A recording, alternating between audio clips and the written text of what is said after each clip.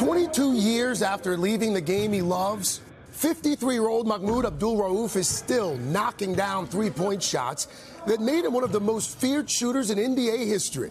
I wanted to dominate. That was my mission from the moment I started playing basketball. And from an early age, Abdul Rauf, who was born Chris Jackson, did just that dominate. First as the country's top ranked high school point guard, and later at LSU, where he played alongside Shaquille O'Neal. Jumper was smooth, had the pretty game. It looked like I was watching God play basketball. Raised by a single mother in Gulfport, Mississippi, Abdul Rauf lived in poverty and suffered from Tourette's syndrome, evident by his uncontrollable body twitching and eye blinking. But he overcame those obstacles and was drafted by the Denver Nuggets in 1990, crediting his Tourette's with making him a better player. It's this repetition that makes you one of the greatest shooters of the 80s and 90s in the NBA. Very much so, I believe. Yes. It was a blessing. A major blessing. Because I wouldn't I would have stopped practicing an hour and a half, two hours, and went on. But Tourette's syndrome said, nah, got something else for you. The Showtime documentary Stand tells the story of how Abdul Rauf, against all odds, made it to the NBA, just to have his career come crashing down after converting to Islam and taking a stand against racism. One of the greatest players in the history of the NBA was cheated out of his career. Why did you decide to stop standing for the national anthem?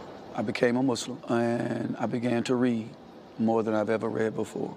But as I'm reading, you know, whether it's foreign policy, domestic policy, I'm seeing America's hand in so much corruption. And then I'm looking also at the history of this nation, slavery and Jim Crow and segregation, right? I can't reconcile standing up for this symbol, right? I just can't. The reaction in 1996 was swift and violent. Abdul Rauf was suspended by then NBA Commissioner David Stern. He also received death threats, and the dream home he was building for his family in Mississippi burned to the ground by the Ku Klux Klan. What did you think that the reaction would be? I wasn't surprised that that was the reaction. Why? Because history has shown, in particular, when young or African American athletes, entertainers, whoever, step outside of the athletic box and speak on something else, you're condemned.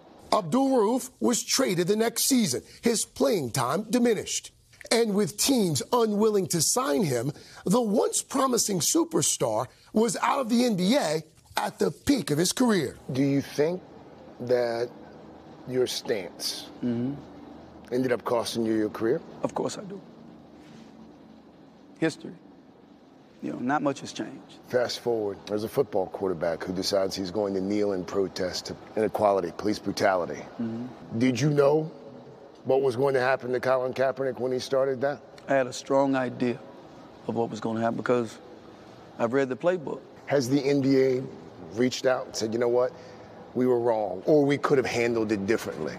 There are people in the NBA who privately you know, say things.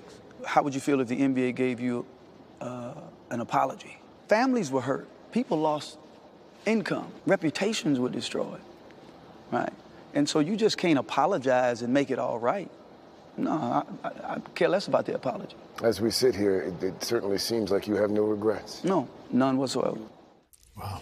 I didn't know that story. It's, Me either. You know, Fascinating. It, um, it, it's a lot of folks in the documentary, yeah. by the way, talk about before Steph Curry, yeah. mm-hmm. Abdul Rauf, a pure shooter, yeah. yeah. pure shooter, was yeah, just an amazing basketball player, and and he was at the peak of his wow. career. Didn't even know his backstory. Yeah, right. didn't know any about it. Well, it's uh-huh. a, he's a fascinating guy.